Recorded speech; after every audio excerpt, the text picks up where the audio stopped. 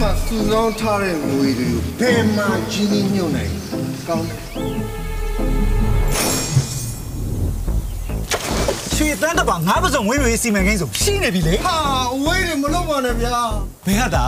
ရန်ကုန်နဲ့အနည်းဆုံးဘင်းအောင်တလားရဲ့ -30 အကျော်လေးကထန်းတပင်နားမှာပဲရှိတာဗျကဲလားဟာငါတွေကကျဲလိုက်တယ်ဗျာဟောဟန်လား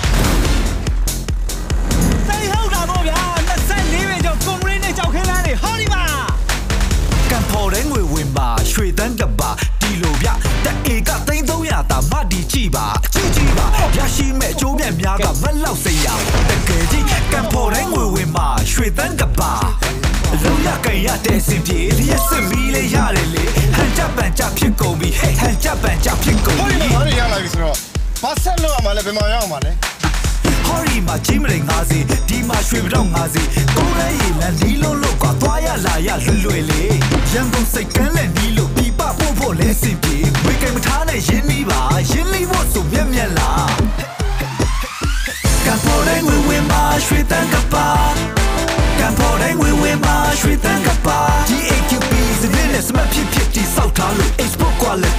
quality ရေးသွင်းများတဲ့ငါ့ဆိုဆိုရင်ရွှေတန်းကပါ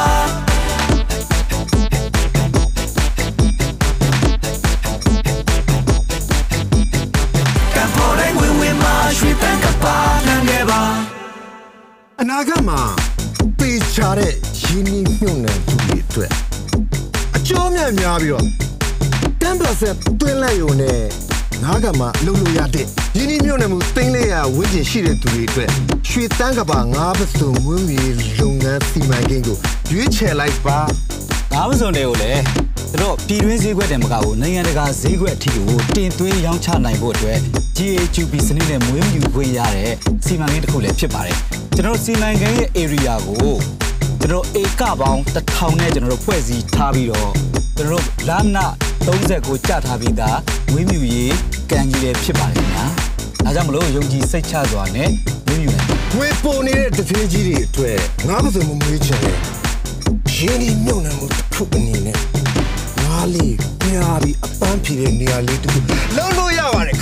င်ဗျာ ဟုတ်ပါတယ်ကျွန်တော်ရန်ကုန်ပြည်လန်းက Lotte Hotel မှာ Match လ16ဆက်ခုမှာ promotion ပွဲလေးတစ်ခုကျင်းပသွားဖို့ရှိပါတယ်အဲ့ဒီနေ့မှာဝယ်ယူတဲ့ customer တွေအားလုံးကို15နှစ်နှစ်ရှင်အရေးကြကို15ရာခိုင်နှုန်း short ပေးသွားမှာဖြစ်ပါတယ်ခင်ဗျာမနေ့9ရက်နေ့ညနေ9နာရီအထိ15ရက်နေ့နဲ့18ရက်နေ့မှာ project site visit စီစဉ်ထားတာဖြစ်တဲ့အတွက်ဒီဖုန်းနံပါတ်လေးကိုဆွဲလိုက်ပါကံပေါ်တဲ့ဝင်ဝင်မှာရွှေတန်းက